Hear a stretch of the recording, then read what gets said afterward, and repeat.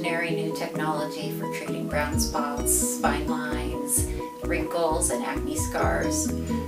It differs from other treatments in that you're just pink for a day or two after each treatment, uh, as opposed to other treatments that can cause some scabbing or swelling or oozing after treatments.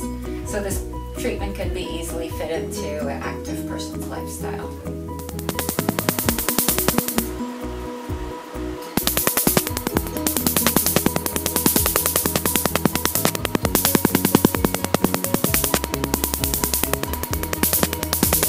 had the Pico Focus at Newport Beach Dermatology and Plastic Surgery. Mm-hmm. How did it feel? It felt warm, not painful. I didn't use any numbing cream. It was loud, so that was kind of intense at first, but the feeling was totally bearable. Nothing harsh. Good. And what did you think of the results, or what what kind of result did you get? I loved it because instantly the next day my pores were smaller, the freckles on my nose were they lessened.